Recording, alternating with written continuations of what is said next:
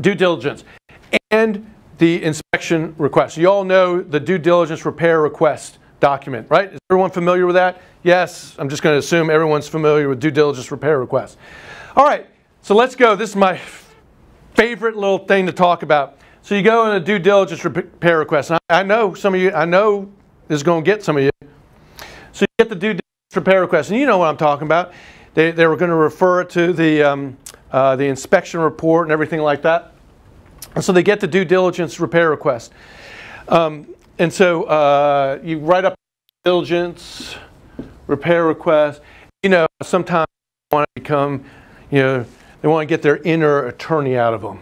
And they write things like, per advantage inspection report done on the 31st of March 2020, 10 a.m.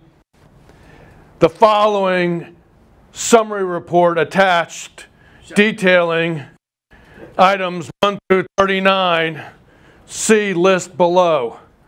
And so then they start listing up. Oh, you're going to love this, you're right? You're going to love this. Then they start listing, they start listing down below.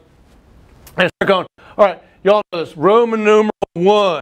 They got Roman numeral 1 there. And they got, you know, items number 2, 4, you know, 6, 8, who do we appreciate? And then they got, uh, you know, 4, Roman numeral 5 on there, you know, 1, 3, 4. You all know what I'm talking about?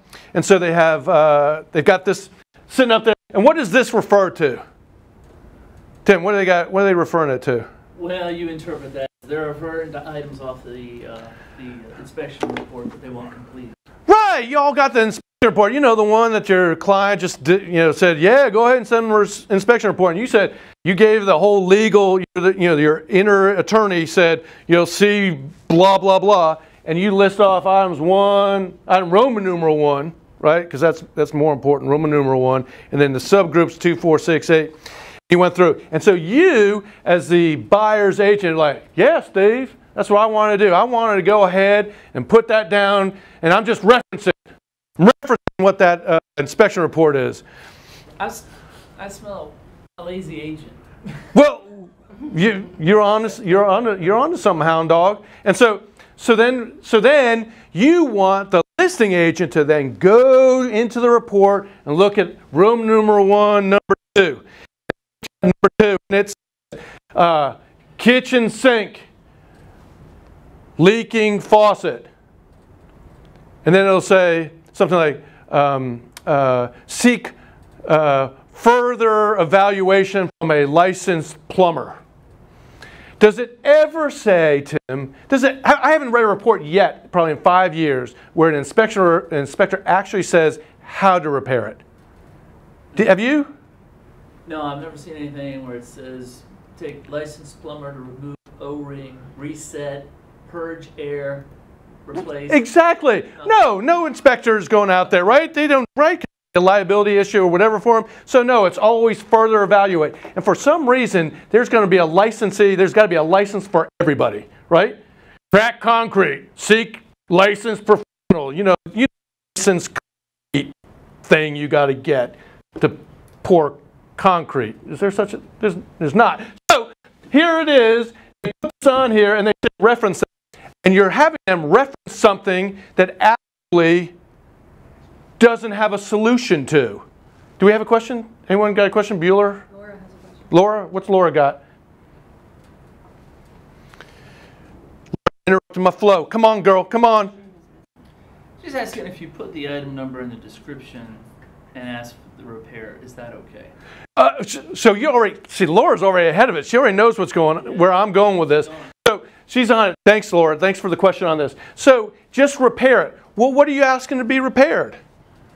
Laura, what, what is it that you're asking? You're just saying reference number two, and thanks, thanks, Laura. Uh, reference number two, and well, it says it's a leaking thing. So, so let's just take it to common sense. Y'all, you're in business together. So, is the the buyer wants the most expensive thing done, and the seller wants the least expensive thing done? That's just habit.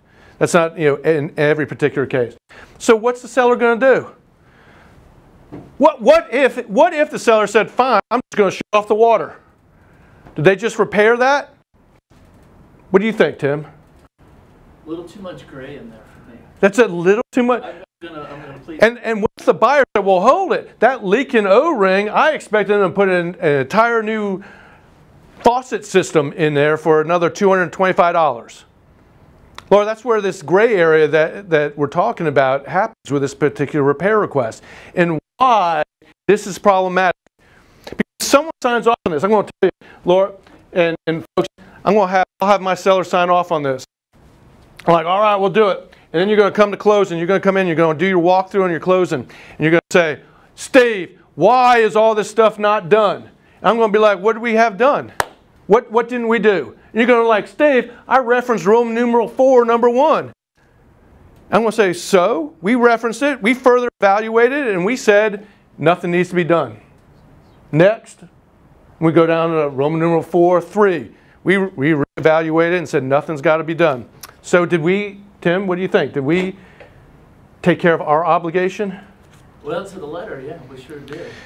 And so, so this is where it becomes problematic, guys, on it. And one of the reasons why, at least with Home Coach, I, I'm always talking about going down and referencing the money. That if we can avoid going to a due diligence repair request, I'm going to show you something that's going to blow my mind away in a second on here. But why we should try and work out dollars. Much simpler for us to be able to go and say, let's negotiate $3,000 for all these repairs, $3,500 versus going through this. Because this does not necessarily solve all the issues on it. And it makes you like an attorney in trying to draft things. And I want to go, I'm going to flip uh, through to page 45. And this is one of the things, guys, in this entire book that I think should send out a huge warning flag as an agent to you. I already told you things about the Real Estate Commission where they want to talk in some kind of vague terms, right? Kind of because, you know, they just want to be able to have an open tent to everybody that's out there in order to in order to scoop you up if they need be. So then we've got we've got down to the bottom of page 45. I want you to read this. Look at this. It talks about, for example, specific language should be used as to which repairs are requested and who will complete the repairs. All right, that sounds pretty good. All right, I can do this. I want you to look at this last line. Brokers are also encouraged to seek the advice of an attorney if needed when completing a repair agreement request. Y'all, they no one is playing around. If you want to think about complaints being up, if, if, you, if the buyer was expecting A and the seller was expecting Z, we're going to have a problem. And someone is going to lose. And, and worse, both are going to lose. You're going to have a buyer who's pissed off, you're going to have a seller who's pissed off, and at the end of the day, they're going to fill out a complaint and say to you, You stink. You didn't represent me well. Or what? You know what? I want you to pay for the repairs. I want you to take care of this. You said it would be done. That seller didn't do it. I can't. If I can't hold that seller accountable to it, if I contact an attorney as an as a as a uh, principal, and the attorney says you ain't got nothing, you ain't got nothing to go sue them on, then I'm going to come to you, the firm. I'm going to come to you, the agent. But someone is going to repair the way you told me it was going to be done. And here's here's the warning shot, y'all. That's what's in this book. Every year the commission's putting this out, and it's a warning shot across your bow. This thing here, I think, is one of the most important things in this book, as I said, and I want to repeat it one more time. Brokers are also encouraged to seek the advice of an attorney if needed when completing a repair request agreement. They are saying, y'all, if you want to go this route, you better get someone else to think about writing that up. Don't think of yourself and your inner attorney and bringing that out of you. Go seek the advice of a professional at that. And at the end of the day, you're all like, what, Steve? I'm not going to go and get an attorney. I'm not going to, I mean, how much am I going to pay for the attorney? Is the buyer going to pay for the attorney? That's a good question. It's a valid question to think about. It's something you're going to have to employ into your business model. It's, it's, it's a new level where we're going with if you want to go this route. And like the thing that's encouraging to, you to consider at least is consider about using the dollars.